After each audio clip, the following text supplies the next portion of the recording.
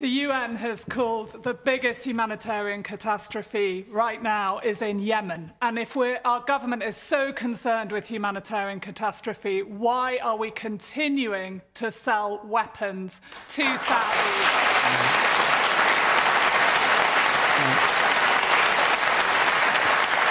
It's a good point, but let me let devastating impact in Yemen.